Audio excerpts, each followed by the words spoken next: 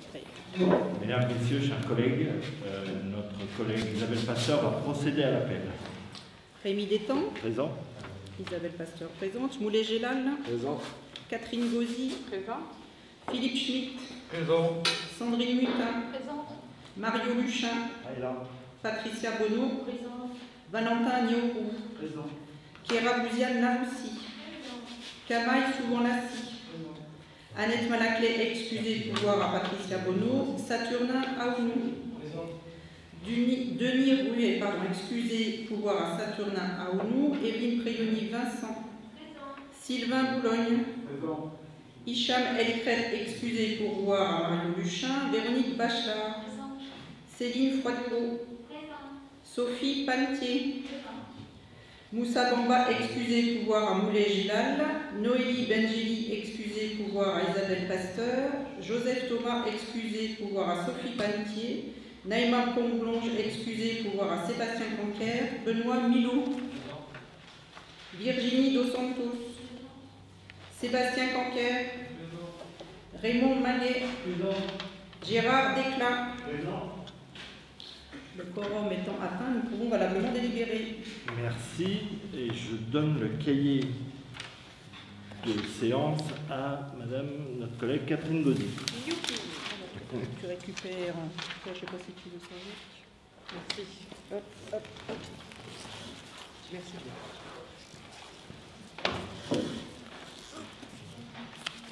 bien.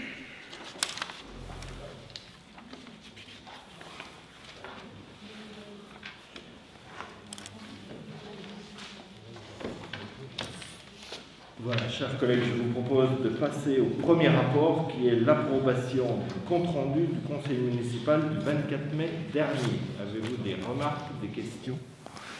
Monsieur Maguet Oui, nous nous abstiendrons sur ce compte-rendu. Alors, nous avons euh, euh, été destinataires d'une information concernant la réforme des règles de publicité, d'entrée en vigueur et de conservation des actes pris par les collectivités territoriales et qui concerne donc le, procès verbal. Alors, c'est le terme qui est utilisé. Le terme compte-rendu est, euh, semble abandonné. Donc, dans les collectivités de plus de 3500 salariés, l'ordonnance numéro 2021-1310 du 7 octobre 2021 donc précise le contenu et les modalités de publicité et de, conservation du procès verbal. Donc ces dispositions sont applicables à partir du 1er juillet 2022.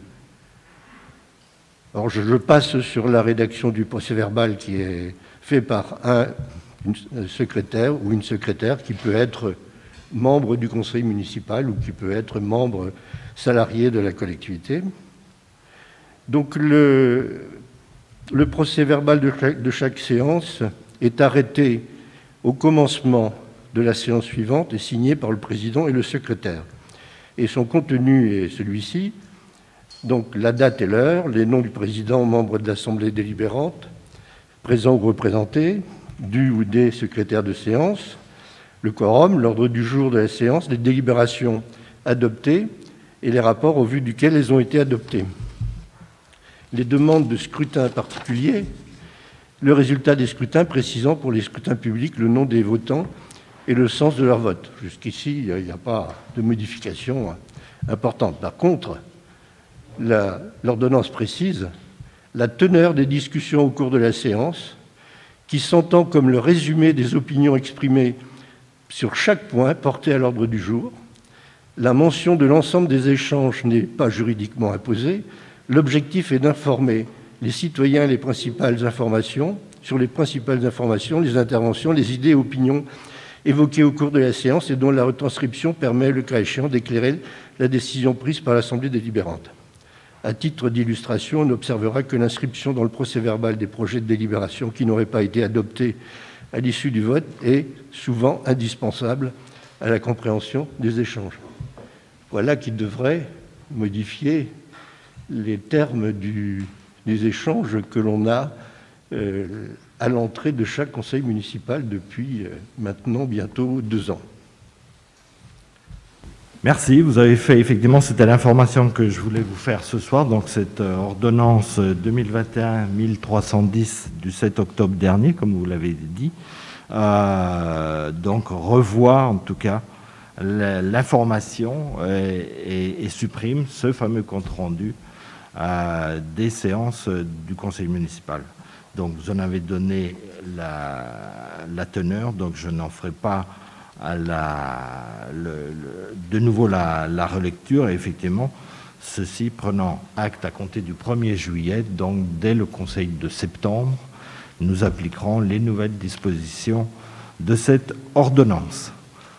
Je reviens sur euh, l'approbation du compte-rendu qui est d'avis de voter contre, de s'abstenir. Nous avons donc six abstentions. Le compte rendu est. Si, si. Alors, je dois procéder à l'installation d'un nouveau conseiller municipal. Ainsi, par courrier en date du 25 mai 2022, Madame Lucia Sassilotti a fait part de sa démission de son mandat de conseillère municipale. Le suivant de la liste Réinventant Quetigny a avoir accepté de siéger au conseil municipal, M. Gérard Desclas est donc installé de droit en tant que nouveau conseiller municipal et je vous invite donc à en prendre acte. Il n'y a pas de vote puisque nous devons en prendre acte. D'ailleurs, le vote de M. Declas sur l'article précédent est tout à fait valable puisque vous êtes de fait installé depuis le début. Donc je vous souhaite la bienvenue parmi nous et, je ne peux que que souhaiter qu'il nous ayons un, travail constructif. Le rapport numéro 3, donc, ce sont les modifications des commissions municipales, euh, où il est, je dois rappeler que par délibération date du 9 juin 2020, en vertu des dispositions de l'article L2121-22 du Code général des collectivités territoriales, le conseil municipal a décidé de former les huit commissions municipales. Vous les connaissez, commission des finances et du développement économique, commission de l'action éducative, commission de la solidarité, de l'emploi et de la formation, commission du patrimoine, des projets urbains, du développement soutenable et de la transition écologique et de l'économie sociale et solidaire, commission de l'action culturelle, commission de l'accessibilité et de la, prévention des risques du handicap, des circulations douces et pistes cyclables et de la politique de la ville, commission de la vie associative et de l'initiative citoyenne, et enfin commission des sports. Chacune de ces commissions est constituée dans le respect du principe de représentation proportionnelle afin de permettre l'expression pluraliste des élus comme suite à la démission de Mme Sassilotti euh, et l'entrée de M. Desclas, il vous est proposé d'adopter la nouvelle composition des commissions suivantes. Donc c'est la, présence de M. Desclas.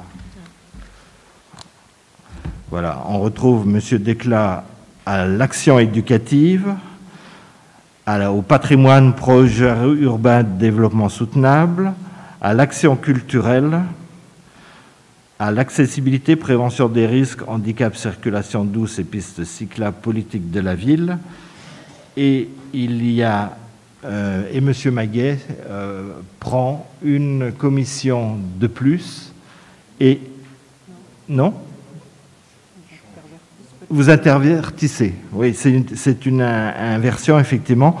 Et donc, nous retrouverons M. Maguet aux finances et développement économique, solidarité, emploi et formation, vie associative et initiative citoyenne et au sport. Nous sommes d'accord? Voilà. Donc sur cette nouvelle répartition, y a-t-il des interventions? Je n'en vois pas. Je soumets à votre approbation qui est d'avis de voter contre, de s'abstenir, donc adopté à l'unanimité. Le rapport numéro 4, alors c'est le marathon de Mme Pasteur concernant les finances, euh, qui va nous présenter le compte de gestion 2021 pour le budget principal, et ensuite le compte de gestion pour le budget annexe de la saison culturelle et les deux comptes administratifs. Oui, merci euh, Monsieur le maire. Donc, mesdames et messieurs les élus, chers collègues, donc dans un premier temps, je vais vous présenter les comptes de gestion 2021, donc établis par notre trésorier, suivi par la présentation des comptes administratifs établis par l'ordonnateur, c'est-à-dire nous, la commune. Ainsi, je pourrais vous donner davantage d'indications et d'éléments d'appréciation sur les montants, et cela, cela vous permettra également de vérifier la concordance des deux documents. Et effectivement, dans un second temps, nous procéderons au vote de ces quatre délibérations. Donc normalement, vous avez va bien derrière moi. Alors, concernant le compte de gestion pour 2021, donc le trésorier l'établit et le transmet à la commune avant le 1er juin. Le compte de gestion retrace les opérations budgétaires en dépenses et en recettes. Il comporte une balance générale et un bilan comptable et le vote de ce compte de gestion doit intervenir avant celui du compte administratif. Alors, il nous appartient donc de vérifier la concordance du compte administratif et du compte de gestion. Donc, vous avez derrière moi donc les chiffres qui s'affichent sur le budget principal. Vous pouvez donc retrouver les, mêmes montants sur les totaux en dépenses et en recettes, à la fois en fonctionnement et en investissement. Donc, je ne vous relis pas les montants, mais bon, vous les visualisez. On a également la, même chose donc, sur le budget de la saison culturelle, là, vous retrouvez également les mêmes montants. Voilà, donc pour le compte de gestion au niveau des présentations. On va passer maintenant au compte administratif.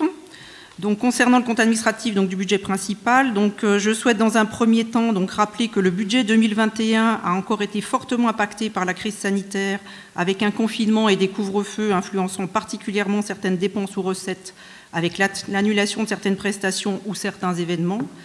Globalement, les dépenses réelles de fonctionnement ont augmenté d'environ 373 kg euros en 2021, affichant une variation annuelle de 3,2% et s'établissant ainsi à 11 85 euros.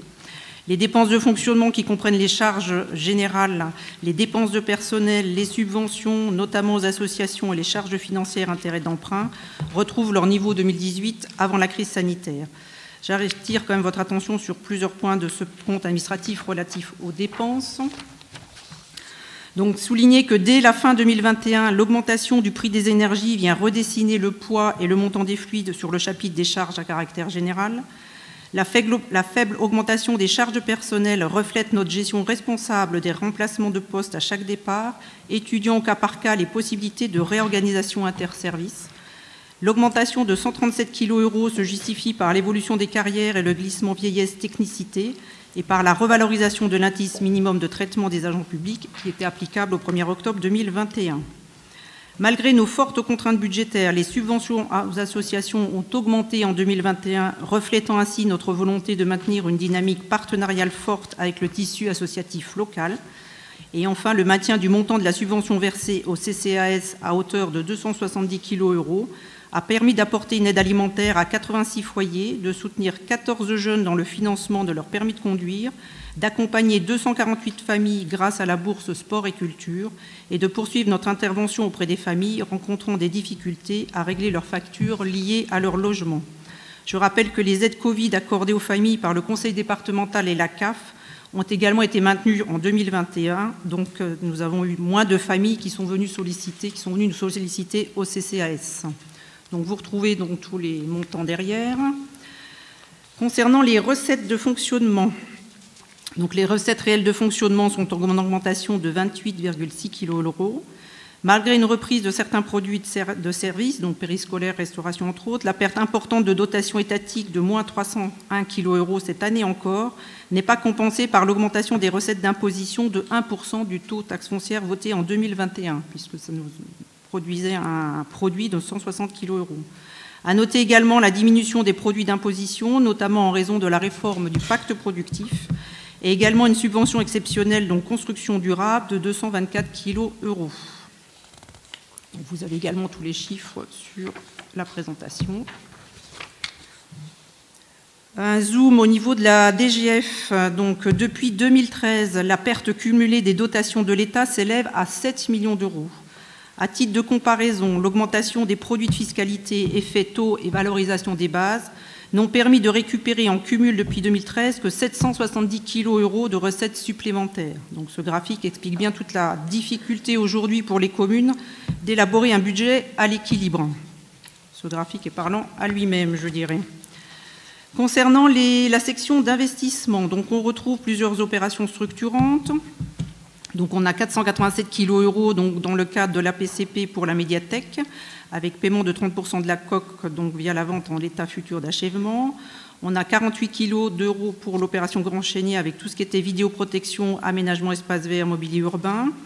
42,5 kg euros sur des travaux de mise en accessibilité dans le, programme ADAP, avec entre autres accès PMR au gymnase, sanitaire chromois porte extérieure des huches. 39 kg euros pour de l'enrobé dans le parc Quétignereau et les aiguisons, 29 kg euros sur le site des Cèdres avec une mise en sécurité de l'éclairage et des réfections des sols, et 18 kg euros sur de la vidéoprotection, place Albert Camus et place Centrale. On continue donc toujours sur la section d'investissement avec des acquisitions et petits travaux. Donc dans les écoles, pour 90 kg euros, on retrouve donc de l'achat pour du mobilier et matériel pédagogique, des travaux dans les cours de la récréation et de l'enrobé, des espaces verts au niveau de la fontaine au jardin, des jeux extérieurs au niveau des huches et également des visiophones. Nous avons également 75 kg euros pour l'achat de véhicules avec un fourgon, master, un Kangoo et deux robots de tonte. Donc ça, c'est pour le, stade de foot. 70 kg euros de renouvellement de matériel informatique et de téléphonie, 55 kg euros de renouvellement de matériel et modernisation des équipements sportifs, donc entre autres avec le sol de la tribune télescopique Mendes France et des tapis de gymnastique, et également 24,5 kg euros pour l'acquisition de décorations lumineuses. Concernant donc encore l'un des, de la section d'investissement, donc des travaux d'aménagement urbain et paysager à hauteur de 40 kg euros, où on retrouve donc du mobilier urbain, le remplacement d'arbustes et de vivaces, l'éclairage public, les aménagements cimetières, mais également on a 102 kg euros donc pour l'aménagement de la médiathèque troisième lieu avec euh, ce qui concerne les honoraires et le versement d'avance, 35 kg euros pour l'achèvement de la construction donc de la maison de l'enfant Maria Montessori et 38 kg donc, de travaux complémentaires au sein du groupe scolaire Les, les Aiguisons avec le réseau de chaleur et des sols. En ce qui concerne la dette, après un cycle de désendettement, donc 2015-2019, la commune a entamé un nouveau programme d'investissement structurant qui se traduira par un recours à l'emprunt. Au 31 décembre 2021, l'encours de la dette propre s'établissait à 1,728 millions d'euros. La dette est composée actuellement de six emprunts correspondant à un portefeuille diversifié de prêteurs. Cet endettement s'appréhende au regard de la situation actuelle. Donc, Kétini se distingue encore aujourd'hui par son faible endettement rapporté en euros par habitant et en comparaison des communes de sa strate. Et vous avez donc le schéma qui vous redonne l'échelle. Et pour terminer le compte administratif 2021, donc du budget principal, euh, donc on retrouve un résultat global de clôture de 3,404 millions d'euros, reste à réaliser compris. En conclusion de ce compte administratif du budget principal, nous avons toujours fait un choix raisonné lorsqu'il s'agissait d'augmenter la fiscalité directe sur nos concitoyens, en veillant à ne pas faire peser ni sur les habitants ni sur les grands projets le désengagement progressif de l'État. La gestion budgétaire d'une commune est un fragile équilibre entre investissement pour sa population et charges pesant sur cette dernière. Il s'agit pour nous de pouvoir poursuivre notre politique de projet de construction tournée vers le futur, avec pour ambition de compter demain plus de 10 000 habitants à Quetigny dans des logements responsables, mais également de continuer notre politique de grands projets culturels et environnementaux d'excellence pour notre jeunesse, je rappelle que 40% du budget de fonctionnement est consacré à l'action éducative, et de maintenir un cadre de vie agréable à tous les Quétinois. Nous pouvons passer maintenant au compte administratif de la saison culturelle. Concernant le compte administratif de la saison culturelle, donc on souligne une reprise progressive des événements culturels. Les dépenses se sont élevées à 103,510 kg euros au total.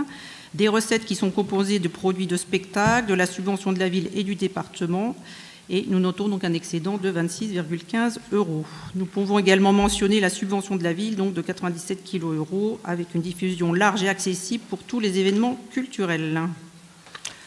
Voilà, donc nous pouvons passer au vote. Merci. Euh, sur les deux comptes de gestion, y a-t-il des interventions sur les comptes de gestion? Je n'en vois pas. Sur le compte administratif Monsieur Maguet? Oui. Au vu de l'augmentation des, coûts de l'énergie, des carburants et des fluides, on aurait pu s'attendre à une progression des dépenses à caractère général dans la réalisation du budget 2021. Ce n'est pas le cas puisqu'elle demeure globalement au niveau de 2018 et 2019 qui sont les années de référence, parce que 2020, ce n'est pas une bonne année pour la référence, ni pour le reste. Ce sont les postes dits secondaires, mais qui n'en sont pas forcément, qui sont impactés par la baisse des dépenses. L'explication qui en est donnée, les effets des contraintes sanitaires sont indéniablement une partie de l'explication, mais n'y a-t-il pas également une érosion des moyens et services quotidiens qui font la qualité des services de proximité et de la vie de la commune? Lors de l'examen du budget primitif, nous avions remarqué une diminution progressive de plusieurs lignes de dépenses concernant les fournitures diverses, entretien, petit équipement, fournitures administratives, entretien du matériel roulant, etc. En plus longue période, on a choisi une année parce qu'on avait les données disponibles. Entre 2013 et 2021, les charges à caractère général ont baissé de plus de 500 000 euros, soit près de 20 malgré une augmentation générale du coût de la vie d'environ 10 Alors, le transfert de certains services vers la métropole peut sans doute expliquer une partie de cette baisse très importante, mais pas à ce point. Certes, il y a eu certainement des économies utiles, vertueuses, mais dans le même temps, nous avons le sentiment que la pression des investissements des dernières années pour l'opération Cœur de Ville a poussé à la contraction de certaines dépenses pour des économies moins vertueuses et moins utiles et qui ont pu dégrader petit à petit les moyens des services et leur qualité. L'augmentation des dépenses de personnel, pour lesquelles vous donnez des explications claires, n'est tout de même pas aussi légère que vous l'indiquez. Plus de 140 000 euros par rapport à 2018 et 2019. Sur ce chapitre, nous observons depuis quelques années une augmentation, une progression des dépenses concernant les non-titulaires, qui représentent en 2021 plus de 20% des dépenses de personnel. S'agit-il d'une évolution conjoncturelle ou d'une orientation de la politique du personnel qui ne dit pas encore son nom? Si c'est le cas, nous ne la partageons pas. Nous pensons que la priorité doit rester à la diminution de l'emploi non titulaire, précaire ou non, dans notre collectivité comme dans toute la fonction publique. Le niveau de participation aux emplois d'insertion nous paraît bien modeste, à hauteur de 60 000 euros, certes en légère augmentation par rapport à l'année 2019, mais plus de deux fois supérieur, plus de fois inférieur pardon, à l'année 2013 par exemple. La collectivité ne devrait-elle pas accentuer son effort dans ce qui doit être l'une de ses missions, favoriser l'insertion? La subvention du CCAS paraît immuable qu'on soit en période de crise sanitaire ou non. 270 000 euros pour chacune des trois dernières années, chiffre desquels il faut enlever environ 170 000 euros annuels, correspondant à la participation de quatre personnes de la collectivité à son action. Quant au budget d'investissement, il est en partie en trompe-l'œil du fait du versement de 2,28 millions d'euros en une seule fois par la DRAC pour la construction de la médiathèque, Heureusement, dirons-nous, car le budget 2021 voit une nouvelle avance de 2 millions d'euros à la SPLAD pour le financement de l'opération Cœur de Ville, dont nous avons constamment soulevé les dépenses disproportionnées au regard des besoins réels des habitants et de leur peu d'enthousiasme pour une grande partie de ces réalisations. C'est là la raison principale pour laquelle nous ne voterons pas ce budget. Merci, Monsieur Maguet. D'autres interventions? Il n'y en a pas.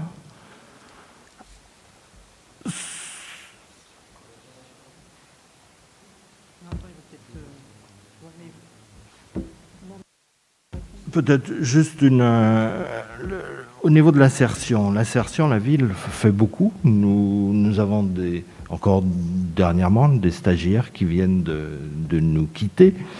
Euh, l'insertion, c'est le sens de, la ville. Euh, les contrats d'avenir, nous les avons mis en place dès 2013 et certains ont été, et les contrats d'avenir, ils ont été titularisés, voire même depuis titularisés, mais ils sont partis dans une autre collectivité. Donc ça, c'est quelque chose que, que nous faisons, que, que, nous, que nous portons, je dirais. Euh, au niveau des vacataires, vous faites souvent effectivement référence aux, vacataires. Il faut savoir que euh, dans, le, dans tout le secteur euh, enfants-jeunesse, il y a beaucoup de, de, vacataires, oui, les animateurs. C'est aussi les personnes qui animent les restaurants entre midi et deux. C'est aussi le soir pendant la garderie. Alors il y a aussi des titulaires, bien sûr, mais nous avons aussi des vacataires, puisque c'est sur des créneaux horaires qui sont euh, forcément euh, restreints.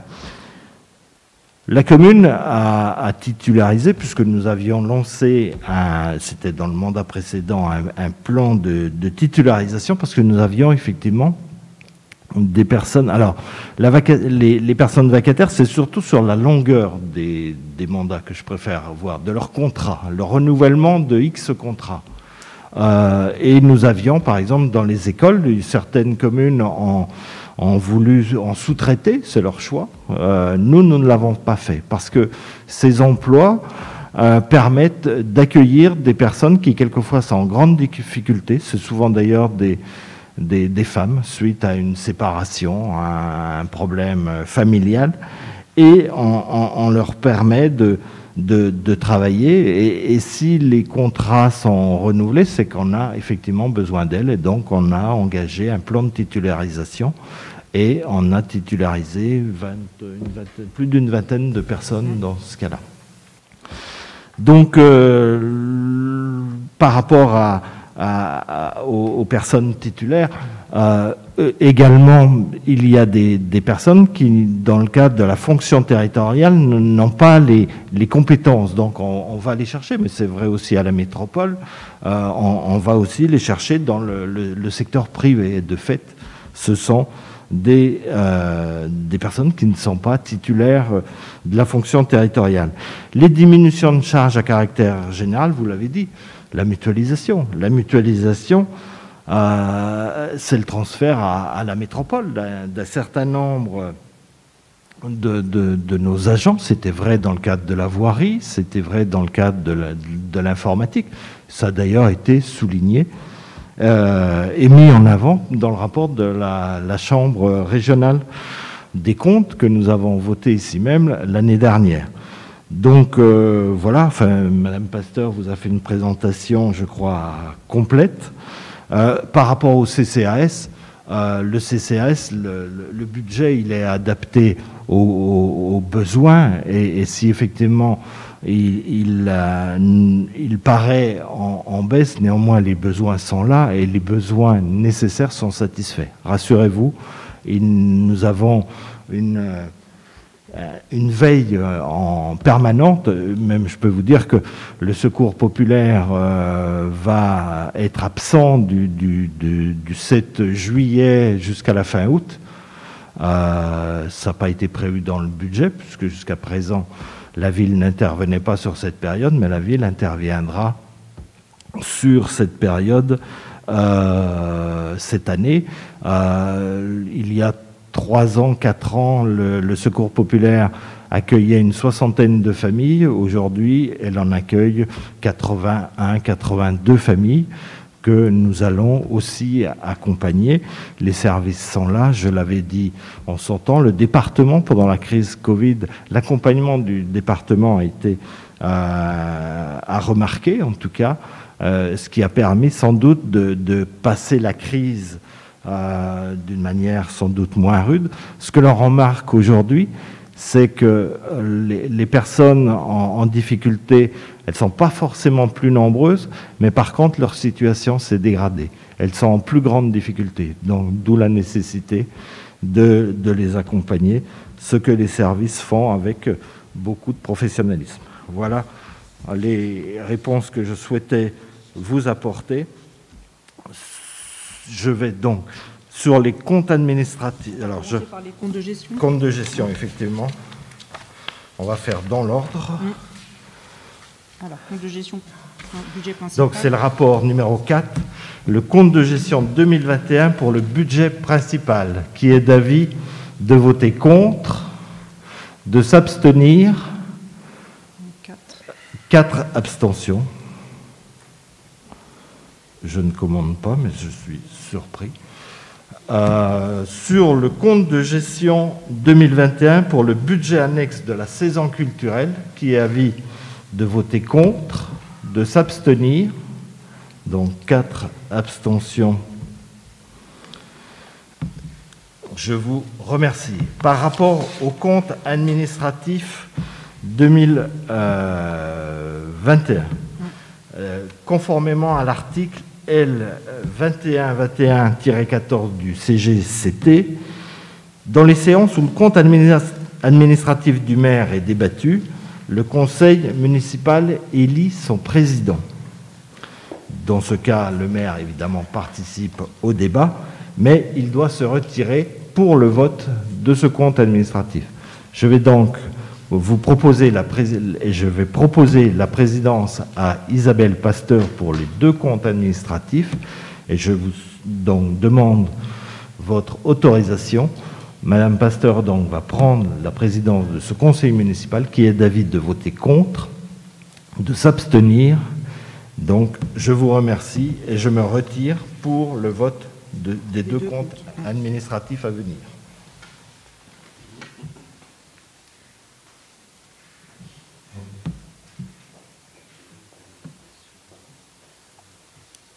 Le maire ayant quitté la salle, donc je vous propose de passer au vote sur la délibération numéro 6, donc compte administratif 2021, budget principal, qui est d'avis de voter contre, donc 2, de s'abstenir, 4.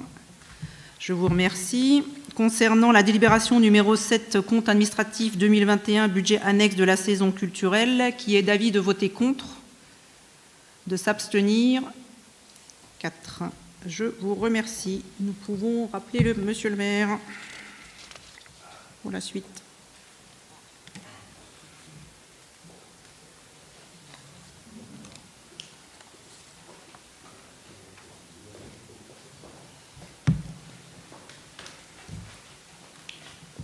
Voilà, donc les deux comptes administratifs ont été adoptés. Je vous remercie. Nous allons donc passer au point 8 qui correspond au budget supplémentaire 2022 pour le budget principal. Et c'est évidemment Madame Pasteur qui nous présente. Alors, de la même manière que je vous ai présenté le compte de gestion, compte administratif, on a également fait une présentation donc euh, PowerPoint. Donc, normalement, ça doit s'afficher derrière moi. Parfait. Alors, notre budget supplémentaire 2022 reflète notre sincérité budgétaire et la transparence sur la consommation de nos crédits. Le vote de ce budget supplémentaire nous permettra d'enregistrer de nouvelles dépenses, comme par exemple l'accroissement important du coût des fluides et matières premières, mais également des nouvelles recettes.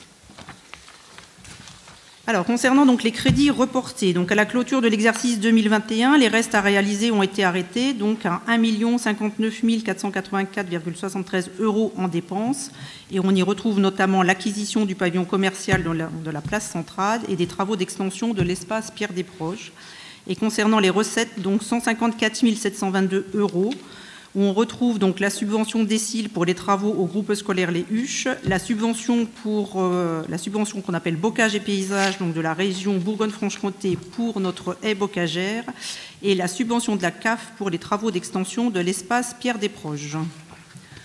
Concernant donc le report du résultat, donc le compte administratif 2021 présente pour le budget principal de la ville donc un résultat global de clôture de 3, 404 000 euros, donc reste à réaliser compris. Le résultat de la section de fonctionnement ne sera pas nécessairement affecté car la section d'investissement ne présente pas de besoin de financement donc net au 31 décembre 2021. Il faut souligner que le solde positif de la section d'investissement s'explique principalement par la subvention DGD construction de la DRAC à hauteur de 2,28 millions d'euros, donc versée en totalité sur l'exercice 2021, alors même que le calendrier des travaux donc défini dans notre APCP prévoit des dépenses importantes, mais en 2022 et 2023. C'est donc pour cela que le budget supplémentaire 2022 est présenté euh, ce qu'on appelle en suréquilibre. Euh, je dirais que c'est un suréquilibre de circonstances exceptionnel sur notre section d'investissement. Il faut bien être conscient que le résultat de notre section de fonctionnement continue à se tendre. Concernant donc la section de fonctionnement, on va faire un focus sur les, le coût, la, hausse du coût des fluides et des matières premières, euh, conséquence de l'inflation donc galopante qui pèse pour plus de 75% de ces dépenses nouvelles. Donc vous y retrouvez euh, l'explication euh, avec le, détail. L'évaluation des fluides est établie donc à prix constaté au premier semestre 2022. Nous anticipons cependant une baisse des consommations, notamment sur les groupes scolaires en lien avec les acquisitions de capteurs de la qualité de l'air. Euh, la surventilation constatée en 2021 ne devrait pas se reproduire au même niveau. Cette évaluation ne tenant pas compte d'une forte inflation, c'est pourquoi nous inscrivons des dépenses imprévues. Donc on a 150 kg euros de dépenses imprévues. Voilà, et l'actualité européenne nous fait craindre un accroissement également de l'inflation. Donc vous retrouvez le détail de la section de fonctionnement. Plus en détail, donc au niveau de la section de fonctionnement, on retrouve également d'autres dépenses nouvelles. Donc on a inscrit 10 000 euros au niveau du technique pour des prestations extérieures sur des petites réparations sur les bâtiments publics. On a 9 000 euros au niveau de la police municipale pour des prestations de surveillance. Donc ça, c'est en lien avec le centre de vaccination qu'on a eu à la salle Nelson Mandela. Au niveau des ressources humaines, donc, euh, on anticipe une augmentation des frais de personnel de 50 kg euros due à la revalorisation du point d'indice de la fonction publique, et je crois que ça a été annoncé aujourd'hui. Avec, euh... Ça sera sans doute 3,5, ça veut dire que c'est 4 fois ça. C'est 4 fois. Ouais. Et c'est tant mieux pour les agents. Ah on oui, va pas... ah non, on est bien d'accord. on ne va pas se plaindre. on est bien d'accord. Concernant les recettes nouvelles, nous avons 16 000 euros sur, euh, en enfance-jeunesse avec une subvention de la CAF qui est fléchée sur la démarche CTG. On a 7 000 euros de subvention du conseil départemental sur la grande crèche avec euh, l'accueil d'enfants porteurs de handicap et familles à faible revenu. Enfin, l'augmentation de 5% du taux d'imposition de la taxe foncière votée pour le budget 2022 donc portera nos recettes sur cette taxe directe à 404,6 kg euros. Non, 404,6 kg euros. Nous avons été contraints de faire peser sur les propriétaires fonciers cette augmentation afin de maintenir un budget en équilibre, hein, devant faire face à une nouvelle baisse des dotations étatiques, puisqu'on a encore moins 180 052 euros, et à la poursuite de nos projets d'avenir, construction de logements durables, troisième lieu, extension de l'espace Pierre des Proches. Nous faisons le pari que ces investissements nous permettront demain d'accueillir un nombre croissant d'habitants, faisant ainsi baisser la pression fiscale sur nos concitoyens et enrayer la baisse incessante des dotations de l'État. Là où partout l'État se désengage, notre commune fait face, pallie au manque des services publics et continue de délivrer aux habitants une offre de qualité aussi bien en termes d'investissement dans des équipements municipaux que dans l'offre des services administratifs délivrés. Et pour finir, vous avez le détail des dépenses d'investissement nouvelles à hauteur de 291 100 kg euros, avec 10 100 euros donc, sur des frais d'études et de maîtrise d'œuvre inhérents au projet, donc travaux structurants donc, au niveau des cèdres avec un repérage d'amiante et le groupe scolaire des Huches. 92 000 euros de matériel et prestations, donc entre autres l'aménagement du secteur pré-bourgeois, rénovation de l'éclairage d'un terrain de football, et 150 000 euros pour les travaux donc d'extension de l'espace Pierre des Proches avec hausse du coût des fournitures, travaux supplémentaires sur la gestion des eaux pluviales et également un nouveau phasage des travaux pour le réseau de chaleur des Huches. Donc voilà pour le budget supplémentaire principal. Est-ce que je fais dans la foulée le budget supplémentaire de la saison culturelle ou on vote avant? Comme tu oui, fais-le. Je le fais dans la foulée? Allez. Alors, le budget supplémentaire donc, pour la saison culturelle, donc, ce sera rapide, puisque le résultat de clôture de l'exercice précédent est égal à 26,15 euros. Donc, il est reporté à nouveau en recette de fonctionnement. Et il y a également l'ajustement proposé dans le cadre du budget supplémentaire. Donc, afin d'équilibrer le budget de la saison culturelle, il est proposé de diminuer les participations aux subventions reçues à hauteur de 26,15 euros, correspondant à la subvention versée par le budget principal. Voilà, donc ça a été rapide. Voilà, effectivement. Merci sur le budget supplémentaire du, budget principal. Y a-t-il des interventions Monsieur Desclas. Oui, j'avais une question assez précise mais importante. Euh, C'est à propos de euh, la question du seuil de six employés handicapés qui n'est pas atteint dans notre commune, ce qui implique une pénalité et surtout montre euh, une absence ou euh, une insuffisance de solidarité de la commune sur ce sujet. D'autre part, euh, j'aurais voulu savoir combien de personnes handicapées, reconnues bien entendu, devraient être employées pour franchir ce seuil. Devraient employer Je ne sais pas, on vous donnera la réponse en sachant qu'il est toujours difficile de connaître les personnes handicapées puisqu'elles euh, elles ne se déclarent pas forcément et, effectivement nous respectant complètement. Alors après, j'entends en tant que euh, dans le cadre des, agents de la ville, alors c'est fluctuant aussi, hein. nous, nous avons des agents qui sont partis, qui avaient ce statut à, temps plein et, qui sont partis, qui seront certainement remplacés lorsqu'on aura rencontré. Euh, le, handicap, vous savez, nous le prenons en compte depuis longtemps. Euh, et je vais vous parler de logement, je sais que c'est un sujet de désaccord, mais l'immeuble qui a été construit en bas du rond-point du 18 juin, c'est huit logements inclusifs. Et, et ce ces logements euh, sont vraiment à, remarquer, d'autant plus que le but maintenant pour CDC Habitat, c'est de dupliquer, de faire connaître, de faire savoir, parce que nous sommes vraiment précurseurs dans ce domaine-là. Il nous a fallu plus de cinq ans pour arriver à, ce dossier. Ça veut dire aussi que parmi les, personnes qui viennent euh, d'intégrer ces logements, qui leur permettent d'être à proximité du tram, qui leur permettent à, proximité des commerces et des professionnels de santé. Il y a une personne notamment que nous connaissons bien puisque nous l'accompagnons depuis le début, lorsqu'elle est rentrée en maternelle. Et aujourd'hui, nous lui, avons permis, en tout cas, son indépendance. Et, donc, euh, c'est une réalité. Après, nous, faisons appel également à des entreprises d'insertion nombreuses sur, la ville, notamment dans le cadre de l'entretien de, des espaces verts, par exemple, c'est Promut. Le, projet Promut, route de Couternon, c'est aussi euh, permettre à des personnes euh, à handicap de continuer à, à, travailler, justement celles qui travaillaient sur les espaces verts, qui ont des difficultés musculo-squelettiques et autres liées à leur état, elles peuvent être intégré donc, dans le projet Promute Verger, parce qu'effectivement, il y a des, tâches qui sont moins pénibles peut-être que les, espaces verts. Donc c'est aussi cette continuité-là, et c'est ce qui nous a aussi intéressé dans le cadre du projet Promute. Et puis là, nous avons lancé un, appel euh, d'offres pour les repas.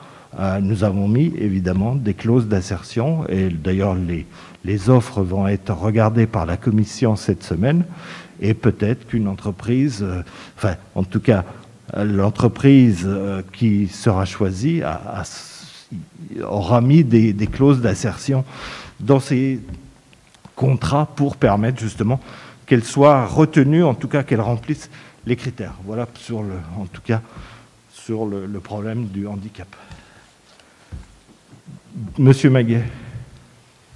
Oui, vous, vous répondez euh, sur les entreprises privées, mais vous déplacez en fait l'obligation euh, légale sur les entreprises privées. Je ne doute pas de la volonté de, la municipalité d'intégrer les, les, personnes handicapées dans la commune et éventuellement dans, dans, le travail, mais la question était très précise et vous répondez pour le secteur privé qui est... Non, pas du tout je, vous ai répondu, je vous ai dit que c'était fluctuant, que les personnes qui étaient aujourd'hui, euh, qui, des personnes sont parties en retraite, qui avaient ce statut, donc aujourd'hui, elles, ont peut-être été remplacées par d'autres personnes qui n'avaient pas le statut de handicap, mais et, dans, le cadre des, appels à candidature, on, verra si nous avons des personnes handicapées qui, viennent euh, voilà, c'est tout, c'est fluctuant. Vous ne décidez pas un jour d'embaucher des personnes handicapées. Et, aujourd'hui, voilà, on me fait passer parce qu'effectivement les contrats ne sont pas finalisés, mais nous sommes en, cours de recrutement peut-être de deux personnes RQTH, donc qui remplissent ces conditions. Encore faut-il qu'elles remplissent les conditions d'embauche.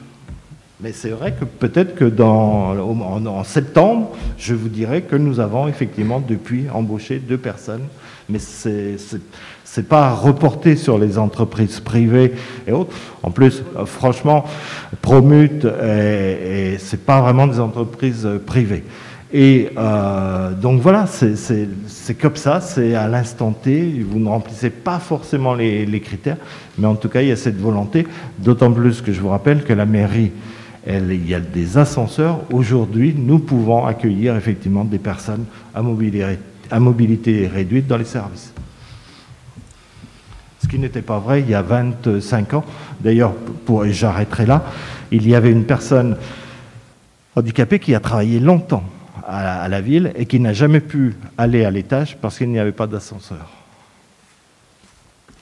Monsieur Maguet. Oui, vous m'avez coupé, je n'avais pas fini mon intervention. Ah bon, je croyais que vous vouliez parler que du handicap. Donc le budget supplémentaire modifie profondément, euh, en tout cas sensiblement, le budget primitif voté lors du Conseil de décembre 2021.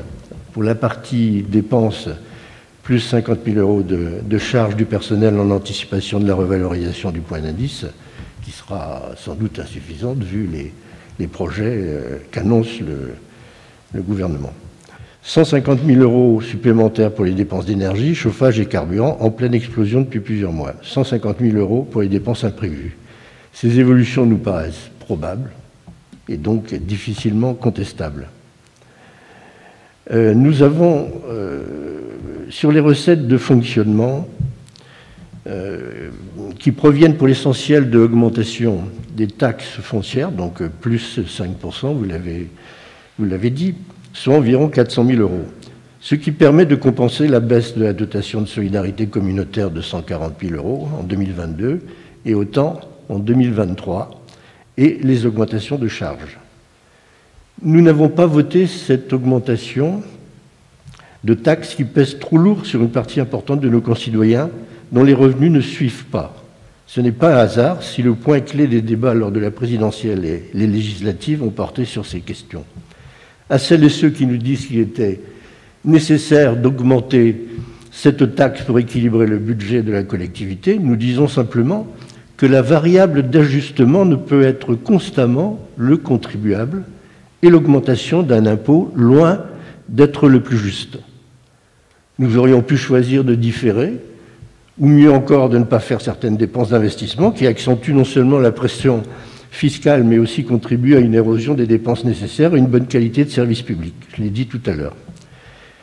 Cohérent avec le refus de voter l'augmentation de la taxe foncière de 5% lors des conseils de décembre 2021 et de mai 2022, la position prise lors du vote sur les taux de la taxe foncière, nous ne voterons pas ce budget supplémentaire. Rappelons quand même que la taxe foncière a fait un bond de plus de 20% au cours des dix dernières années pour la partie votée par la collectivité, ce qui n'est quand même pas rien. L'inflation est loin derrière et surtout, les salaires et les pensions sont loin derrière.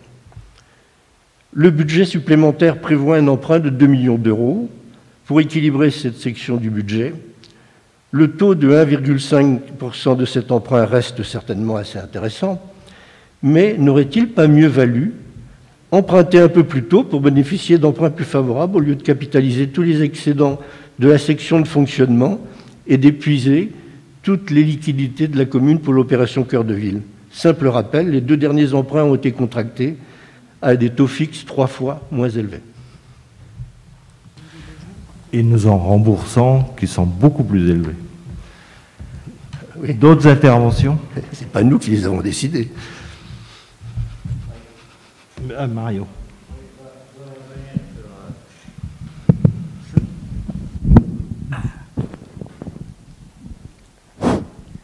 Oui, je voudrais revenir sur euh, ce qu'a dit M. Declerc sur euh, le handicap, parce que c'est un domaine que je me suis occupé pendant plus d'un an et que je continue de m'occuper dans le cadre de ma délégation. Nous ne sommes pas en faute et nous n'avons pas à payer l'amende. À partir du moment, M. Declerc, où on a recours à des produits c'est une mutuelle non pas une entreprise privée, c'est une entreprise à charge handicapés, nous sommes dans la légalité. Donc il ne faut pas dire que nous sommes fautifs. Après, on peut faire mieux. Mais tous les postes ne peuvent pas non plus être accès, à, au handicap. Ça, c'est la réalité aujourd'hui. Donc ne dites pas certaines choses que vous ne connaissez pas, ça sera mieux. Sur ce budget supplémentaire, il n'y a pas d'intervention? Euh, Monsieur Declat Oui, je souhaiterais répondre. Euh, je ne suis pas un grand spécialiste comme vous, mais euh, il me semble quand même que les textes demandent que les... Attendez, il faut que je retrouve mon document. Hein. Oui. L'obligation d'emploi concerne toutes les formes d'emploi, fonctionnaires, contractuels, stagiaires. Le seuil de 20 salariés s'apprécie en équivalent temps plein, ETP, en moyenne sur l'année pour chaque établissement. Chaque agent compte pour une unité. Donc je ne comprends pas bien pourquoi, en faisant appel à euh, des sociétés privées, si j'ai bien compris, on peut se décharger de cette obligation. Ce pas des sociétés privées on parle de Promute ici ou d'autre chose Oui, et ce n'est pas une société privée. Alors quel est son statut? C'est une, une, une, société d'insertion, mais, mais pas à but privé. Ah, qu'est-ce que ça veut dire à but privé? Une société, elle est, privée ou elle est publique Non, non, non, non, non, non, non, c'est là où vous avez encore beaucoup, effectivement, peut-être à apprendre, mais ça, c'est l'expérience. Je ne prétends pas tout savoir, loin de là, mais je suis un petit peu gêné par cette explication. Euh, nous ne sommes pas fautifs, puisque nous faisons appel... Euh, elle est reconnue d'intérêt général, et Promute, c'est pas Duc et Préneuf, par exemple. Bon, L'employeur doit déclarer le nombre d'emplois occupés par un travail handicapé pour justifier qu'il respecte son obligation d'emploi. Euh, il me semble que les textes, si je suis dans l'erreur, ont de quoi me mettre dans l'erreur. Évidemment, je ne vais pas m'engager dans une discussion de spécialistes, mais je, nous serons vigilants sur, sur l'évolution de la situation, parce que nous ne sommes pas franchement convaincus. Et, les réponses que je vous ai faites, sont, sont, je les maintiens, effectivement. Notre souci, évidemment, nous avons, je, vous l'ai rappelé, hein, euh, et d'autant plus par rapport au logement, je trouve, mon argumentaire est, un peu supérieur au vôtre dans la mesure où vous ne vouliez plus urbaniser. Donc, si les huit logements sont là, c'est parce que nous avons eu cette volonté euh, de, de, construire. Et puis, simplement rappeler, il y a 10 000 demandes aujourd'hui un peu moins, puisque c'est 9 680 demandes de logement qui ne sont pas satisfaites aujourd'hui. Il y en avait un peu moins l'année dernière, mais on est toujours sur ce, niveau-là et le nombre de demandes de logement ne diminue pas.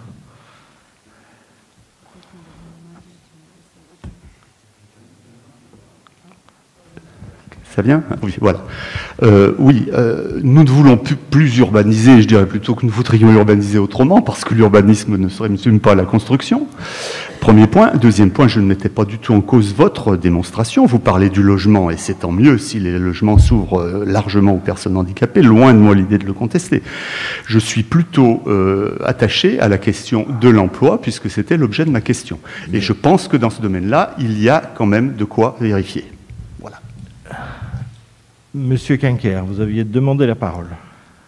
Merci, monsieur le maire. Non, je vous laissais échanger entre amis d'une nouvelle alliance. Euh, c'était intéressant. Euh, c'est un, peu comme à l'Assemblée, quoi. Quelques jours après, pof, ça y est, ça commence déjà à se chamailler. Euh, je vais être rapide et clair.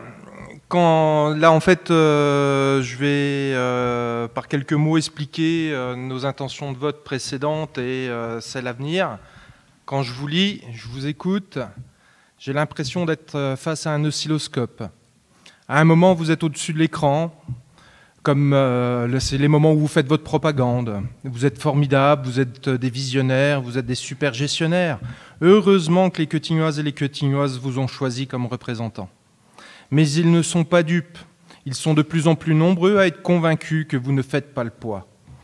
Et nous avons les moments qui se situent en bas de l'écran, les moments où vous vous plaignez des baisses de dotation et de la flambée des prix. Monsieur le maire, les excuses, c'est comme le nez. Tout le monde en a un. Et vous manquez de nez, mais pas d'excuses. Vous criez haut et fort que ce n'est pas de votre faute. C'est un peu facile. C'est vous qui êtes aux manettes, c'est vous qui êtes aux affaires, on vient d'en avoir l'exemple à l'instant, c'est vous qui décidez, c'est vous qui êtes la majorité et vous nous le répétez assez souvent. C'est donc de votre faute, il faut assumer. Arrêtez toujours de vous défausser sur les autres. Vous manquez aussi clairement de vision à long terme. Vous ne faites que subir et vous tentez de trouver des solutions dans l'urgence.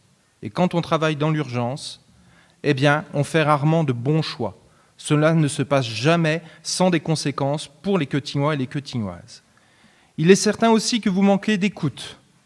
Vos budgets se suivent et se ressemblent, à quelque chose près. Et les conséquences pour, nos concitoyens sont toujours de payer plus pour des dépenses toujours de plus en plus importantes, mais un service moindre. Et pourtant, je vous ai mis en garde chaque année sur ce point. Pas de courage, pas de vision, pas d'écoute, c'est un triste bilan. Mais revenons au BS et au CA. Le CA, qui est considéré comme le juge de paix du budget, doit permettre de voir ce qui a été effectivement réalisé. Et comme d'habitude, lors de chaque BP, vous annoncez plusieurs millions d'investissements. Et à chaque BP, vous envoyez du lourd, de la paillette. Malheureusement, à chaque CA, un an, voire deux ans plus tard, cela nous montre que seulement 50, voire 60% des investissements sont réalisés toujours avec des bonnes excuses. Cela veut dire quoi? Que lors de la présentation du budget primitif, vous soumettez aux Quetignois et aux Quetignois un document de propagande, un pur document de communication. Pourquoi? Parce qu'annoncer plusieurs millions d'euros d'investissement et n'en faire seulement 50 voire 60 c'est prendre les gens pour des imbéciles. C'est faire de l'affichage, c'est vendre du rêve aux Quetignois. Les Quetignois ne veulent plus de rêve, ils veulent du concret. En ce qui concerne le BS, faut franchement, euh, ça c'est très fort, vous donner un peu le bâton pour vous faire battre. Notamment quand vous rappelez que vous aviez prévu une revalorisation des bases de 2% et une augmentation des taux à hauteur de 1% dans le BP 2021, pour un produit attendu à 5,1 millions d'euros. Dans les faits, les bases ont été revalorisées de 3,4%, mais ça, il faut le reconnaître, ce n'est pas de votre fait, c'est du niveau national. Par contre, vous avez augmenté les taux de 5%. Et ça, c'est de votre responsabilité. Pour quel résultat? Un produit des impôts fonciers de 5,505 millions d'euros, soit 405, millions, 405 000 euros pardon, supplémentaires dans les caisses de la ville par rapport à ce qui était annoncé dans le BP 2021. J'ai donc deux questions sur ce point. La première, c'est pourquoi nous avons euh, c'est pourquoi nous avoir menti pardon, et avoir menti aux Quetignois lors de la présentation du BP 2021 en annonçant une hausse des taux de 1%, alors que vous les avez augmentés de 5%. La seconde, c'est pourquoi vous avez augmenté les impôts de 5%, alors qu'il s'agissait, selon vous, de compenser la baisse de la dotation de solidarité communautaire, DSC. Pour rappel, cette baisse atteint seulement 137 700 euros. Au final, ce sont 267 000 euros supplémentaires au chapitre 73, impôts et taxes. Il n'était donc pas nécessaire d'augmenter les impôts de 5%. Je vous révèle ma critique formulée lors d'une précédente réunion du conseil municipal. Avec vous, les Quetignois subissent une triple peine. La baisse de la DSC, que vous avez validée en tant que vice-président de la métropole. La hausse des taux métropolitains, que vous avez validée en tant que vice-président de la métropole. Et enfin, la, la, hausse des taux communaux, que vous avez décidée en tant que maire de Quetigny. Avec vous aux affaires, c'est toujours plus d'impôts pour les Quetignois, et toujours moins de services, toujours moins de tranquillité, toujours moins de sécurité. En ce qui concerne le CA, on constate une hausse des dépenses de fonctionnement par rapport à 2019. Je ne ferai naturellement pas la comparaison avec 2020, année de crise sanitaire. Toujours plus de dépenses de fonctionnement pour une amélioration des services rendus aux Quetignois. Pas vraiment, d'après tout, ce que je rencontre. Même réflexion sur l'évolution des dépenses du personnel. Elles ont largement augmenté par rapport à 2018. Pour quel service? Même réponse que précédemment. Petit aparté. Je vous cite, la, la gestion responsable des remplacements et renouvellements des postes à chaque départ que vous évoquez m'a arraché un petit sourire. Le chapitre sur la dotation me fait également réagir. Depuis 2013, la perte cumulée de dotation de l'État s'élève à plus de 7 millions d'euros, avec une véritable purge entre 2013 et 2017. Et là, j'ai envie de dire merci qui? Merci François Hollande, serais-je tenté de dire. François Hollande, ce président que vous avez soutenu. À vrai dire, on dirait que vous aimez ça, car j'ai cru comprendre que vous souteniez les candidats de la NUPES. Avec eux, c'est tout pour l'État, tout par l'État, et rien en dehors de l'État. Enfin, j'ai encore trois dernières questions très importantes pour les Quétinois. Notre capacité d'autofinancement brute et nette se dégrade au regard des charges incompressibles. 70% de charges du personnel, par exemple. Comment comptez-vous redresser la barre? Quelle stratégie sur le court et moyen terme? Pour mener une politique d'investissement ambitieuse, il va falloir inévitablement, emprunter. Quelle est la stratégie d'endettement? Ou alors, vous faites le choix de limiter les investissements. Alors, il convient d'être transparent avec les habitants et il faudra tout leur dire. Et enfin, la dernière, quelle stratégie face à l'envolée des prix des fluides? Merci, monsieur le maire. J'aurais juste euh, quand même une interrogation. Vous, dites euh, qu'à chaque fois qu'on fait un service moindre ou qu'il y a moins de services, euh, bah, donnez-moi des exemples. Tiens, sortez, venez, avec moi dans la rue, on va voir. Bah, donnez-moi un exemple le concret ah, ce soir. Et, en fait, Madame Pasteur, c'est très facile de répondre comme ceci. Sortez, échangez un peu avec les habitants. C'est tout. C'est vrai, moi, voilà ma réponse. Vous demandez, vous demandez une réponse, un cas concret. Le budget que je vous ai présenté, Monsieur Quinquer, était concret. J'étais en train de vous répondre. Bah, non, vous ne eh ben, faites pas de réponse concrète. Bah, si, vous, dites un service donne une réponse concrète. Et vous ne donnez pas de réponse. Je vous donne une réponse concrète. Sortez, échangez avec les habitants de Quetigny. C'est pas du tout concret. Si. Non, pas du tout. Et ayez au moins la, la, la, la, la, la crédibilité de vos, de vos dires. Vous parlez de services moindres. Quel service? Ayez des exemples. Regardez l'état. Non mais c'est tout. C'est pas la ville l'état des rues. Ah ben c'est facile. Et je suis le président de la, en ben, charge de la voirie. C'est pour ça que je vous le dis d'autant plus. C'est pas la ville. Faut, faut pas tout confondre. Monsieur Quinquer, vous n'êtes pas le mieux placé pour parler du budget. Vous dites effectivement beaucoup de mal et vous l'écrivez, ça c'est votre droit le plus strict, c'est le sens de la démocratie. Sauf que les habitants de Quetigny, aux dernières élections, rappelez-moi votre score aux élections. Rappelez-nous-le. Merci, mais franchement, j'avais prévu ça. Et, vous, là-dessus. Et c'est drôle, ils n'ont pas voté pour vous notamment. Et puis, puisque vous voulez faire de la politique, on peut en parler.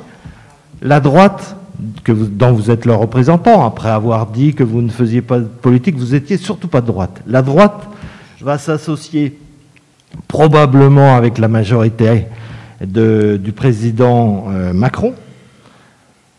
Et c'est la majorité, et vous l'avez vu sur les tableaux, si François Hollande effectivement a diminué beaucoup les dotations, euh, Sarkozy n'a pas diminué, et euh, le président Macron continue. D'ailleurs, c'est ce que nous payons. Et, franchement, soyons sérieux et regardez, étudiez un peu plus vos dossiers. La hausse des impôts, c'est pas pour compenser les 150 000 de la baisse de décès. D'ailleurs, si vous étiez un tant soit peu malin, voire à regarder un peu plus, et je je vais dire du bien du président Repsamen, parce que vous savez, la dotation que l'on a sur les logements, les 1500 euros par appartement, c'est grâce au rapport qu'il a transmis au Premier ministre. Et c'est pour ça qu'effectivement, cette euh, subvention, à les, logements pour les communes qui font du logement social ont été subventionnés. Donc vous voyez, euh, apprenez un peu mieux vos dossiers. En plus, Hollande, et puis j'arrête là par rapport à la politique, Hollande, il a mis la retraite à 60 ans pour les carrières longues. Et la droite, c'est 65 ans pour l'instant. Donc euh, c'est vraiment pas le même projet. Et nous, le projet pour les Quétignois, effectivement, nous l'avons nous subissons aujourd'hui des hausses, et vous l'avez vu, nous avions provisionné 50 000 euros pour l'augmentation du point d'indice. Les chiffres que l'on a aujourd'hui, aujourd'hui on les a. Quand on préparait le budget en, septembre, octobre dernier, on n'était pas sur ces chiffres-là. Et encore moins sur le coût du, des fluides et de l'énergie. Néanmoins, Aujourd'hui, et c'est tant mieux, je l'ai dit, et, effectivement, dans le cadre de la NUP, on a défendu la hausse des salaires, le SMIC à 1500, et c'est pour ça que la hausse du point d'indice, c'est effectivement une excellente chose. Et il le fallait, ça fait trop longtemps que ce point d'indice, il est bloqué. La répercussion, c'est effectivement, pour la ville, c'est plus de 200 000 euros. Plus de 200 000 euros qu'il va falloir, effectivement, trouver pour, euh, dans le cadre du budget euh, que l'on fera en 2023. C'est la réalité. Vous l'avez dit vous-même, les dotations, la DGF, c'est les, enfin, 7 millions, 7 millions de perdus. C'est considérable, considérable. Et, nous ne sommes pas les gens qui augmentent les impôts. Là, nous l'avons fait, effectivement. Nous ne sommes pas les seuls et je ne vous rappellerai pas le, le président du conseil départemental, combien c'était 18%, 18% hein, qu'il avait augmenté les impôts. Mais on ne vous a pas entendu à ce moment-là, on ne vous a pas entendu.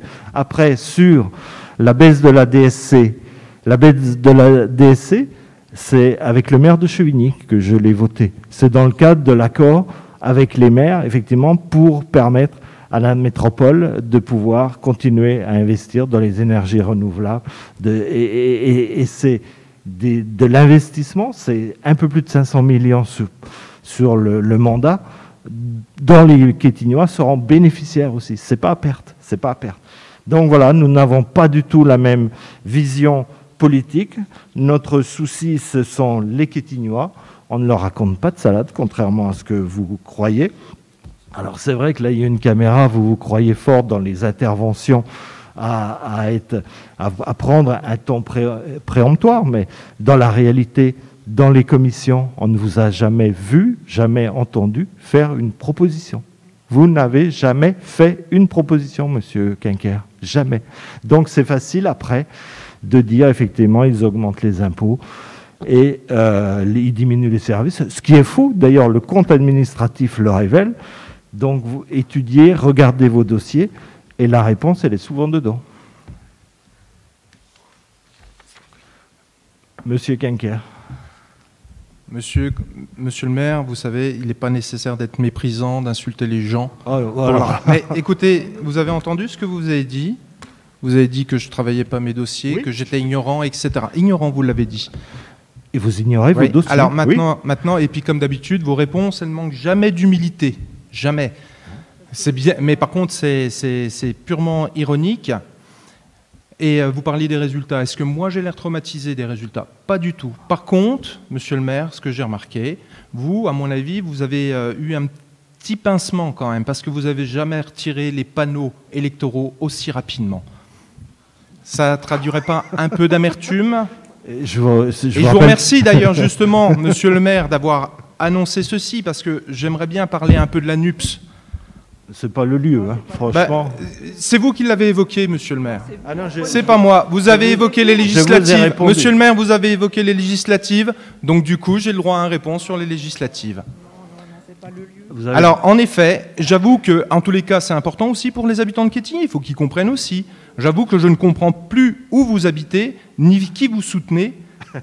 Non, mais franchement, c'est carrément incompréhensible pour l'électeur lambda. Et écoutez-moi bien jusqu'au bout, s'il vous plaît. C'est important d'expliquer et de faire de la pédagogie pour les électeurs. Sinon, il ne, faut pas s'étonner que plus de la moitié de l'électorat ne s'est pas déplacé aux urnes dimanche 12 et 19 juin dernier. Sur l'union de la gauche, celle que vous avez souhaité soutenir, cette fameuse NUPES, je constate que les gens LFI, Parti communiste, PS et ELVL, euh, e, e, pardon, ELV, pardon, qui n'étaient alors sur, euh, jouez pas sur les mots, qui n'étaient alors sur rien, d'accord sur rien, il n'y a même pas deux mois, sont désormais main dans la main pour aller aux législatives ensemble. Et une fois les élections passées, le naturel est revenu au galop.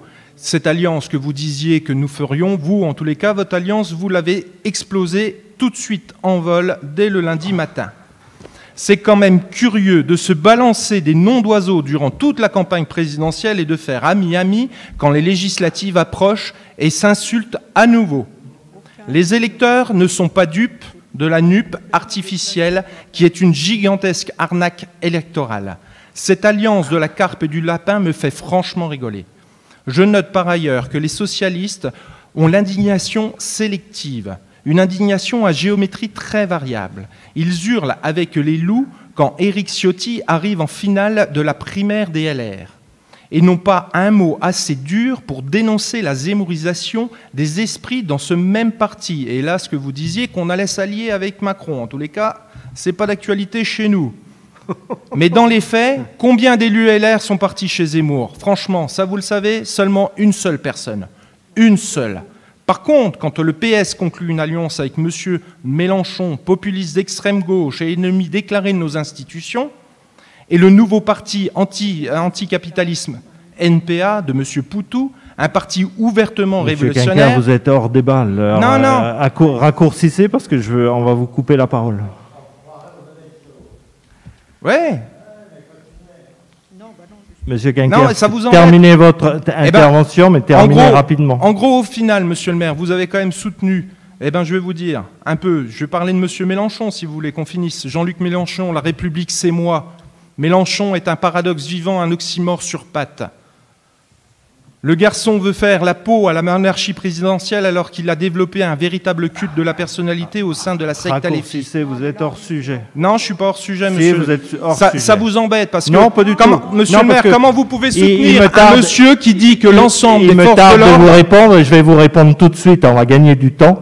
Autour de la table, Monsieur Quinquer, depuis longtemps, l'équipe municipale travaille avec des gens du PC, avec des gens des Verts, de la société civile, et nous en sommes très fiers. Et c'est notre honneur de pouvoir travailler avec eux. Donc le, le NUPES, nous, j'en ai fait partie, le PS en faisait partie, et, il était donc logique. Et, franchement, nous n'avons aucun regret, aucune honte, surtout n'employez pas ce mot-là. Et je vous le dis, ça fait longtemps qu'à Quetigny, les communistes, les, les Verts travaillent avec le PS dans l'intérêt des Quetignois. Voilà, maintenant je soumets au vote sur le budget. Je soumets au vote pour le budget supplémentaire. Qui est, Monsieur Quinquer, c'est terminé. Qui est d'avis de voter contre, de s'abstenir il a l'habitude, mais euh, non, là c'est pour le budget supplémentaire. Alors, le budget supplémentaire, qui est d'avis de voter contre Donc, six contre. Euh, Vous voyez, Monsieur Quinquer, comme quoi on peut euh, être aux élections quelquefois ensemble, mais sur d'autres sujets, on peut être en désaccord. Et, autant que je sache, euh, quelquefois, Monsieur Quinquer, vous avez voté la même chose que euh, LFI. Donc, euh, voilà, donc j'ai les contre qui s'abstient, donc adopté. Je vous remercie. Le budget supplémentaire de la saison culturelle, c'est le rapport numéro 7 qui est neuf, neuf, neuf. Neuf. On a tourné la page. On a tourné la page. Oui. Le budget supplémentaire, donc, de- du budget annexe de la saison culturelle, rapport 9, qui est d'avis de voter contre, euh, même la culture. Donc, de s'abstenir, donc, adopté. Je vous remercie. Le rapport numéro 10, euh, c'est toujours notre collègue Isabelle Pasteur qui nous présente la dissolution du budget annexe de la saison culturelle à la fin de l'exercice 2022 et son intégration au budget principal. Merci, Monsieur le maire. Donc, en application des articles L1412-1 et L1412-2 du CGCT et à la demande du service de gestion comptable, donc notre collectivité est invitée à modifier les modalités de gestion budgétaire de la saison culturelle en cohérence avec sa situation comptable. Donc, il vous est donc proposé ce soir de prononcer la dissolution du budget annexe saison culturelle au 31 décembre 2022 et d'autoriser le comptable public à procéder à toutes les écritures comptables nécessaires à la réintégration de ce budget au budget principal de la commune. Merci. Une, Monsieur Maguet? Oui, nous voterons pour parce que c'est, si j'ai bien compris, c'est la loi. Mais c'est dommage parce que c'est le seul morceau du budget que nous pouvions voter. Ben oui, désolé. Mais je, je suis sûr que l'année prochaine, vous allez voter avec nous. Allez, je soumets au vote. Qui est d'avis de voter contre, de s'abstenir, donc adopté à l'unanimité Je vous remercie. Rapport numéro 11, projet Cœur de Ville, cession à la SPLAD des parcelles cadastrées AP 235, AP 236, AP 237, et c'est notre collègue Philippe Schmitt qui nous le présente. Merci, merci Monsieur le maire. Euh, je ne vais pas vous lire cette délibération qui est longue et que vous avez tous lu avec attention, mais juste vous faire un, résumé euh, de ce qu'elle contient. Donc vous vous souvenez qu'au dernier conseil municipal du mois d'avril, on avait d'abord euh, désaffecté puis déclassé trois parcelles, AP 235, AP 236 et AP 237, de 73 mètres carrés, 224 mètres carrés et 35 mètres carrés. Donc, et lors de ce conseil municipal, on avait également donné l'autorisation à, la SPLAD, de vendre euh, ces, terrains donc à Elitis. Aujourd'hui, cette délibération, c'est pour donner, enfin pour vendre à, la SPLAD, pour l'euro symbolique, ces, euh, trois parcelles, afin que euh, la SPLAD puisse ensuite revendre à Elitis. Je pense que mon résumé doit convenir à tout le monde. Merci. C'est un dossier qu'effectivement vous connaissez, donc là nous arrivons au terme de cette procédure. Y a-t-il des interventions Monsieur Desclars Oui, simplement une petite remarque. Euh, nous avons voté contre cette opération Cœur de Ville qui obère durablement les finances de la commune pour un résultat urbanistique contesté par les habitants dès sa mise en route et qui, loin d'être terminé, révèle chaque jour son caractère nocif. Les affiches et photomontages eux-mêmes, par exemple euh, à l'entrée du chantier Elitis qui fait l'objet des trois parcelles, n'ont rien pour nous rassurer. Il est évident que nous continuerons à voter contre. Vous avez tort, c'est un projet remarquable, c'est un, projet qui n'existe pas aujourd'hui en France. C'est une première nationale. Euh, aujourd'hui, avec l'augmentation des charges, vous devriez vous interroger pour permettre justement aux personnes qui euh, occuperont ces logements, en tout cas, ils verront, ils toucheront plus d'argent qu'ils ne paieront de charges. Et avec une qualité de, construction élitiste, vous connaissez. Euh, donc, c'est un projet dont nous sommes fiers, effectivement. S'il n'y a pas d'intervention, je soumets à votre approbation qui est d'avis de voter contre, de s'abstenir, donc deux abstentions. Ah, ah, quand j'ai dit de, contre, vous n'avez pas levé la main, c'est s'abstenir, vous avez levé la main. J'ai été trop rapide ou vous passez trop lent là. Donc je remets au vote qui est d'avis de voter contre, ah, de s'abstenir, donc adopter. Je vous remercie. Rapport numéro 12, c'est une convention de servitude entre la ville et GRDF pour la pose d'une ligne souterraine sur une propriété de la ville cadastrée AP 142 rue du Midi. Et c'est notre collègue toujours, Philippe Schmitt. Merci, euh, merci Rémi. Bon, bah, c'est une délibération dont on a l'habitude, hein, c'est de permettre à, EDF et, GDF, c'est GDF, GRDF, de, euh, de, faire des interventions sur le domaine public.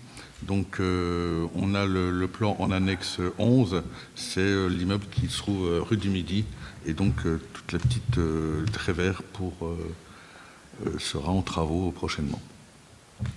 Voilà. Merci. Y a-t-il des interventions Je n'en vois pas. Je soumets à votre approbation qui est d'avis de voter contre, de s'abstenir, donc adopter à l'unanimité. Je vous remercie.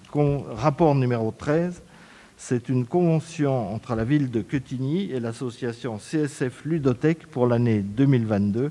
C'est notre collègue Moulet-Gélal qui le présente. Merci, monsieur le maire. Dans le cadre de notre politique éducative et euh, dans le cadre aussi de notre projet éducatif de territoire. Nous avons euh, depuis longtemps décidé de travailler avec la CSF Ludothèque, qui fait partie aussi euh, de notre histoire et de notre patrimoine sur le territoire. Et donc, euh, nous travaillons avec la Ludothèque CSF autour du jeu, et elle intervient à plusieurs reprises, tant au collège, tant au sein de l'accueil de loisirs, et encore hier, lors de la fête de la petite enfance à la maison de l'enfant Maria Montessori.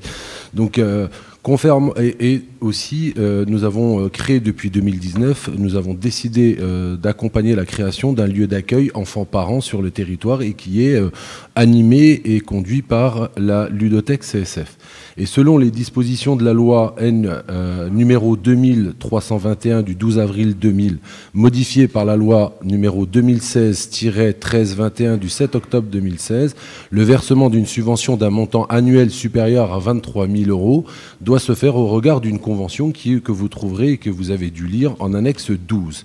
Il vous est proposé donc d'autoriser l'attribution à l'association CSF d'une subvention annuelle d'un montant maximum de 34 520 euros au titre de l'année 2022, se décomposant ainsi 610 euros pour le fonctionnement de l'association, 21 910 euros pour l'activité de la ludothèque et 12 000 euros pour le lieu, le, lieu accueil enfants-parents, 6 000 euros au titre de l'année 2021 et 6 000 euros au titre de l'année 2022 et d'autoriser Monsieur le maire à signer la convention annuelle jointe en annexe 12 qui précise notamment les modalités de versement de la subvention. Merci, c'est important pour les enfants, pour, la pour les familles d'une manière générale. Y a-t-il des interventions? Je n'en vois pas. Je soumets à votre approbation qui est d'avis de voter contre, de s'abstenir, donc adopter à l'unanimité. Je vous remercie. Nous passons à l'action culturelle, rapport 14, convention entre le département de la Côte d'Or et la commune de Quetigny relative au fonctionnement des espaces dédiés au numérique de son territoire. Et c'est notre collègue Sandrine Mutin qui le présente. Merci Rémi. Lancé en 2003 à l'initiative du département de la Côte d'Or, en partenariat avec la Caisse des dépôts et consignations et des maîtres d'ouvrage publics ou privés, le dispositif des espaces numériques de Côte d'Or est un réseau d'espaces publics numériques dont la vocation est de proposer au public un accompagnement autour des usages numériques. Favoriser les échanges intergénérationnels, sortir les seniors de leur isolement, faciliter l'apprentissage des technologies de l'information, accompagner les citoyens des territoires ruraux dans leurs démarches, administratives, comme la recherche d'emploi ou l'aide sociale, et de manière plus générale, rapprocher les territoires, donner les moyens aux citoyens les plus éloignés des centres urbains d'accéder aux mêmes offres de services, sont autant d'objectifs qui s'inscrivent dans la logique de solidarité, d'échange, d'équilibre de vie. Pour rappel, dans le cadre de l'accord de partenariat conclu entre le département de la Côte d'Or, la commune de Quétigny et son centre communal d'action sociale en date du 26 avril 2022, le département de la Côte d'Or s'engage à financer le projet de médiathèque troisième lieu, qui s'appelle la parenthèse, comme suit. Un montant maximum de 390 000 euros à hauteur de 39% d'une assiette subventionnable plafonnée à 1 million d'euros hors taxe pour la construction de la médiathèque troisième lieu. Et une subvention complémentaire de 110 000 euros portant ainsi l'aide du département à 500 000 euros sous réserve que la commune s'engage à inscrire l'espace numérique de l'équipement dans le, réseau des espaces numériques Côte d'Or et contribue par ses actions à la réduction de la fracture numérique. L'attribution de cette subvention complémentaire est conditionnée à la signature d'une convention spécifique en annexe 13 fixant les modalités de ce partenariat, notamment le département s'engage à assurer à titre gratuit l'animation et la coordination du réseau d'espaces dédiés au numérique, cette mission est confiée au directeur de projet usage numérique. Le département met à la disposition des outils numériques afin d'organiser des ateliers sur leur usage. La mise à disposition d'outils numériques ne fait l'objet d'aucune redevance ni contrepartie financière de la ville de Quetigny. Elle s'effectue à titre gratuit. La présente convention est conclue pour une durée de trois ans, à compter de sa date de signature par les deux parties. Elle pourra être renouvelée de manière expresse à son échéance. Et avant euh, de, voter cette convention, j'aimerais compléter mon propos. Donc, je tiens rapidement à revenir sur le triple intérêt de voter en faveur de cette convention qui fait suite à un premier accord de partenariat que nous avions adopté en conseil municipal du 23 novembre 2021. Cet accord de partenariat engageait le département à financer la construction de la médiathèque troisième lieu à hauteur de 390 000 euros, avec une subvention, comme je vous l'ai dit, à 110 000 euros, si la ville de Quetigny s'engageait à inscrire l'espace numérique dans le réseau Côte d'Or. Évidemment, le premier intérêt de cette convention est donc financier, puisque vous l'aurez compris, nous toucherons donc une subvention complémentaire de 110 000 euros.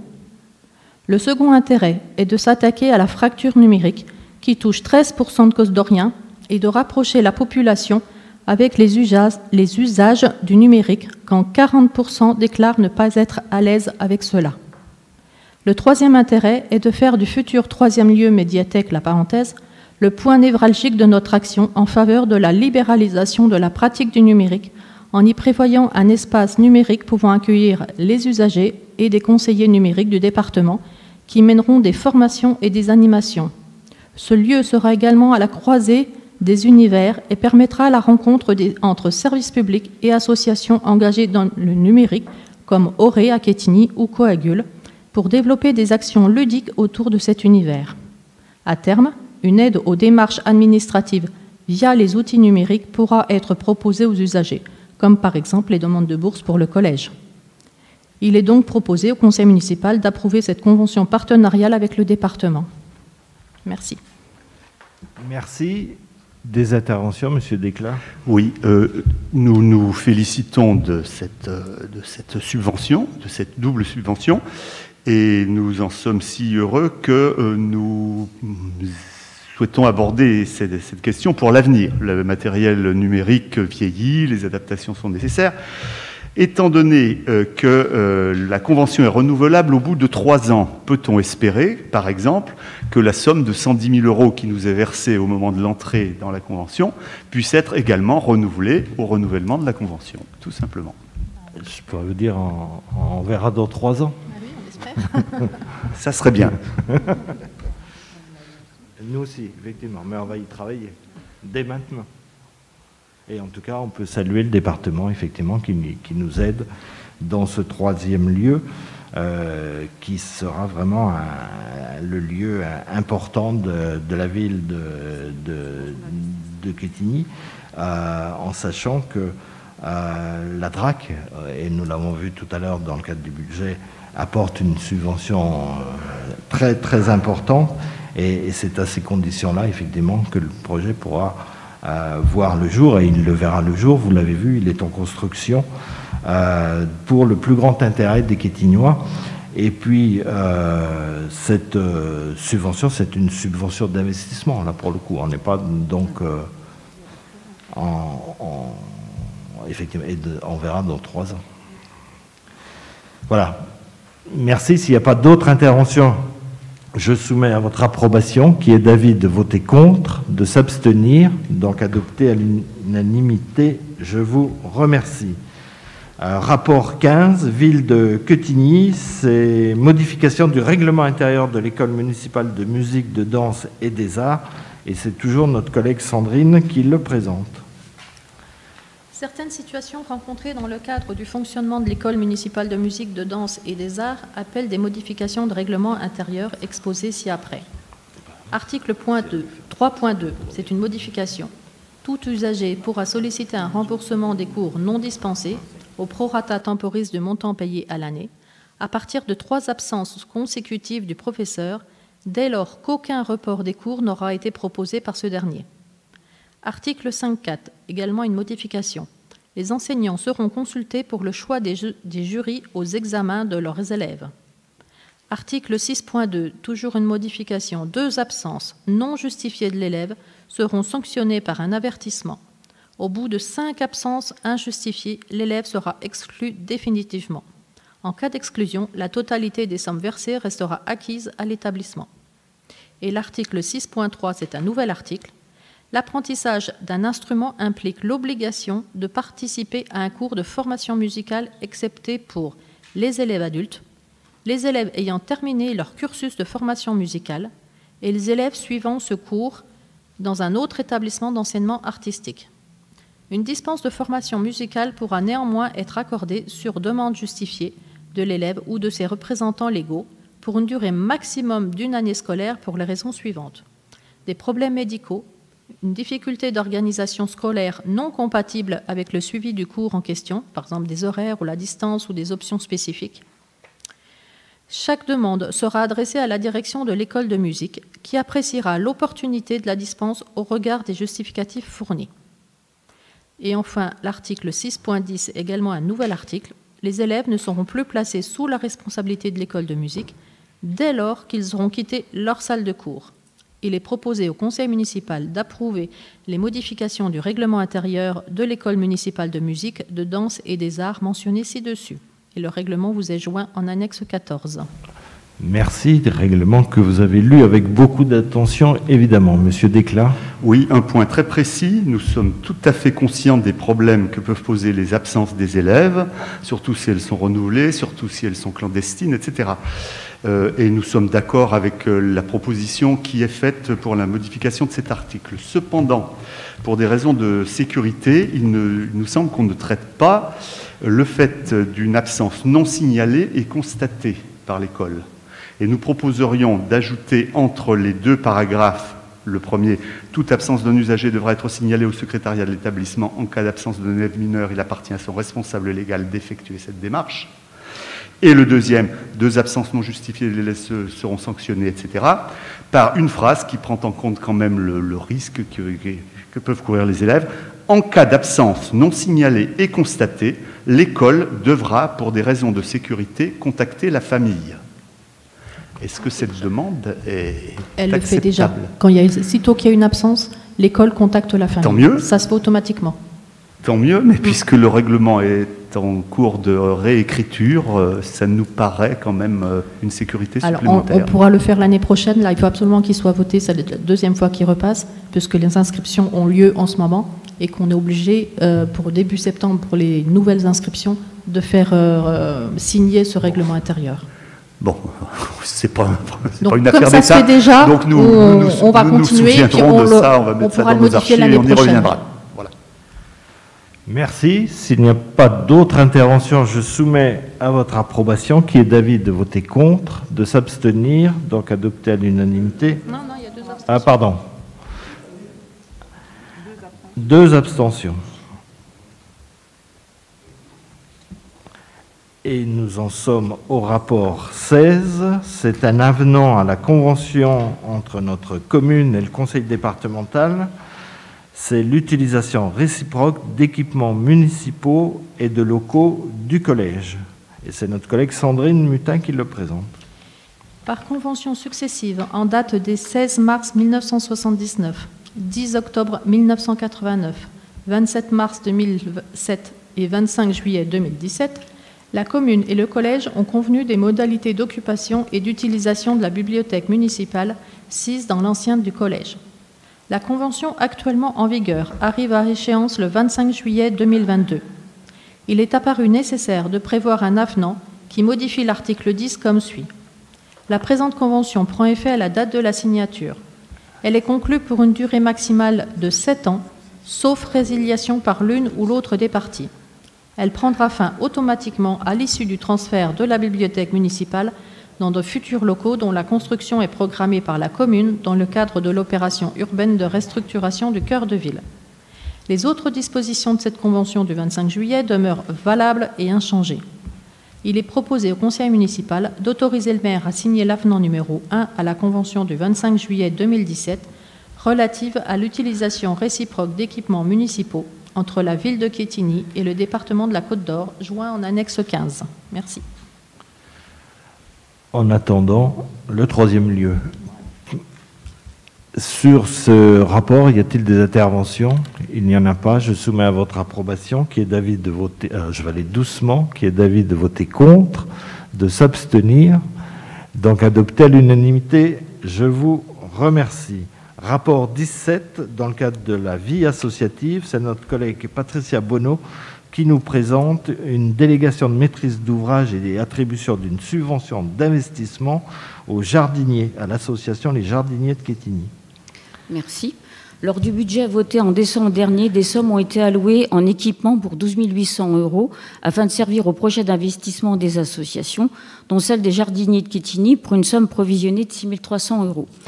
Cette association gère des jardins familiaux, soit 240 parcelles dans le respect de la nature. Depuis 2013, elle mène des actions et aménage des parcelles pour des personnes présentant des difficultés physiques. C'est une force vive du territoire et un partenaire de la ville. Et cette année, elle s'est vue attribuer une subvention de 2000 euros. Les locaux qui sont mis à la disposition des jardiniers de Quétigny ont besoin de rénovation pour la toiture et les sanitaires, afin qu'ils soient mis aux normes pour les personnes à mobilité réduite. Les travaux ont été estimés à 12 230 euros et la ville souhaite apporter son soutien financier à hauteur de 6 300 euros. Pour ce faire, une convention a été établie que vous trouvez en annexe 16, dont je vous fais un rapide résumé.